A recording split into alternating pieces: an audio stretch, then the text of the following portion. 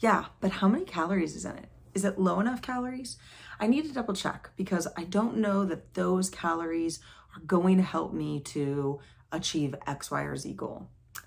This episode is the truth they don't tell you about low calorie foods.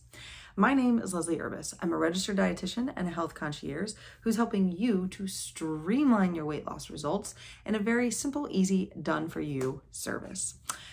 So, why is it that people search for low calorie foods? I remember when I was younger, women like, oh my God, look how low calories this is. Look how many you get for the calories, right?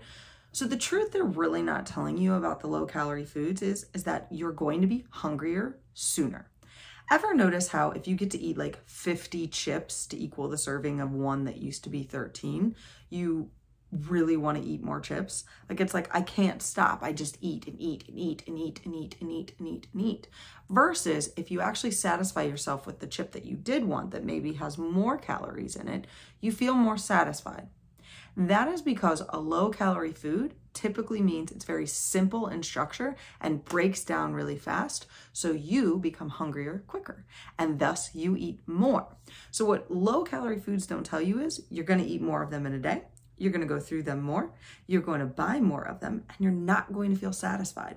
So the truth is behind low calorie foods is they're not actually telling you what it is you need or how to do things. They're just giving you a low calorie version to keep you buying the product.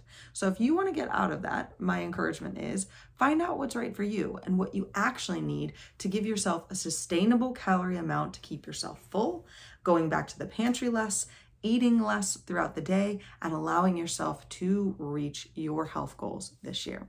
If that's something that interests you, go below and click the link to book your breakthrough call so that way you can get the results that you're looking for this year. I'll catch you there.